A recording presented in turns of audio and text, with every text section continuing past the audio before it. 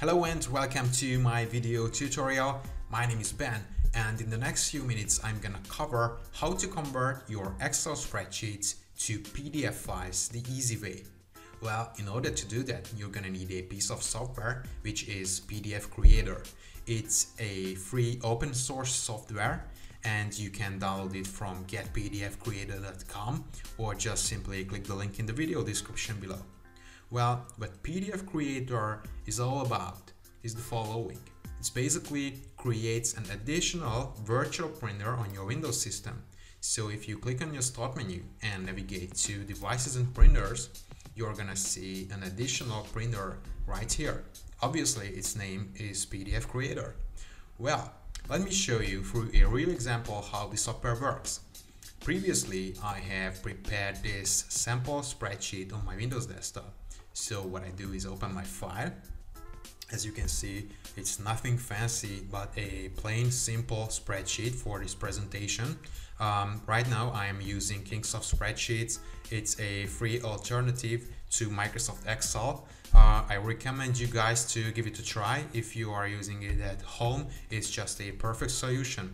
So back in the topic, well, if I want to convert my uh, existing sample.xls file as a PDF or convert it to a PDF, all I have to do is click on print and make sure to select PDF Creator as my default printer for this print job.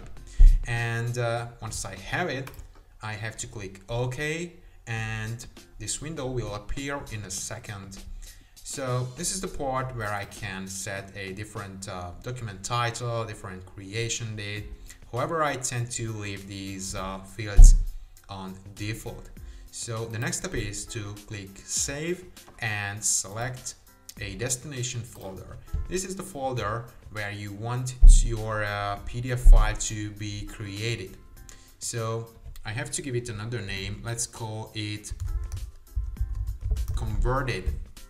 So my output file is going to be converted.pdf. And all I have to do is now click save, wait a few seconds, and there we have it. Simple. As you can see, it's right here on my desktop because that was my destination folder and it's on Adobe Reader. So if you want to convert your existing Excel spreadsheets into PDF, I recommend you to go with PDF Creator. It's uh, it also works well with uh, Word documents, works well with um, I don't know pictures, text files. It's totally up to you. So if a program has the ability to print, you can use PDF Creator to turn that file into a PDF file. So uh, I hope this tutorial was helpful. Uh, please let me know your thoughts in the comments. Um, just again, to recap, you can download the PDF Creator from getpdfcreator.com or simply click the link in the video description below and have fun. Bye.